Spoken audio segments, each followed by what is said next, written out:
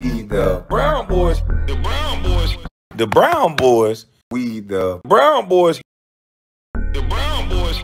We the Brown Boys. I wonder why Stephen A. Smith never made mention of this stuff, though.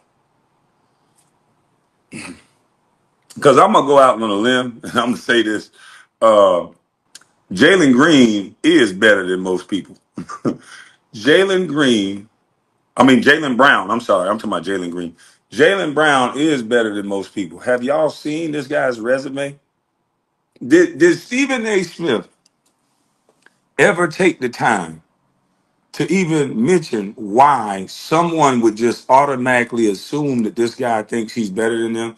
Because reading his resume and me being a man that's not insecure or uh, thinking that somebody is above me, but I can recognize when somebody has accomplished more than me and has done greater things than I have. And I will go out on a limb to say, yes, Jaylen Brown is better than me. Jaylen Brown is better than most NBA players. You're comparing him to NBA players. And this guy was smart enough to get a NASA. He went to UNC Berkeley. When he got drafted, they thought that he might be too smart for the NBA, that he might need to go do something else. And y'all are questioning Stephen A., you never thought to mention that this guy was the youngest pre- vice president in the NBA, that he's his own agent and he negotiates his own contracts. You never thought that maybe one of those meetings he went into in the NBA and he's smart enough to give pushback and say, hey, this is some BS. I don't want my brand a part of this and I'm not going to do any of this.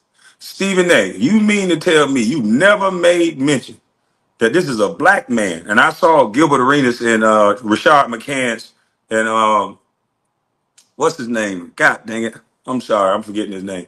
Um, but I saw them going back and forth. And I have to agree with Shard McCann. I agree with some of the stuff Gilbert said because, but Gilbert jumps, he double dutches. He gives a reason why he's not marketable by saying the truth. He said he, one minute he said, I can see why somebody would think he's not marketable because he's too smart. And Jaylen Brown, and the truth of the matter is, some of the conversations that NBA players, uh, Brandon Jennings, sorry about that, no disrespect, Brandon, but I can um I can see how some of the conversations that the average NBA player would have that a guy that went to UNC Berkeley, I can see him not wanting to participate in those conversations.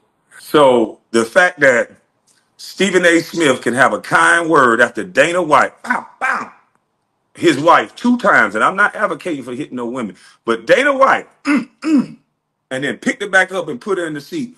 And Stephen A. found some kind words to say about this man. And because a private source called Stephen A. or sent it to Stephen A. right before his taping of First Take, I mean, either it's a beautiful coincidence or he's a script reading bitch, like I said he was. But right before his take, somebody sent him something about Jaylen Brown. They didn't send him nothing about all his accolades, and you can run that story right before he compete for the NBA championship. No, let's talk about how people may think he's arrogant or he think he's better than everybody. But guess what? He's earned the right to walk around here thinking he's better than most people because ain't nobody tell you to sit there. I like what Rashard McCann said. Ain't nobody tell you to be a dummy. Ain't nobody tell you to keep going to the gym and shoot all day when this man wanted to go to UNC Berkeley and work on his game and his mind. So if you feel that he's better than you, he probably is. He damn sure smarter than me. so stop being insecure and just say it. This young man is a hell of a nigga. And if you don't like that word, he's a hell of a man.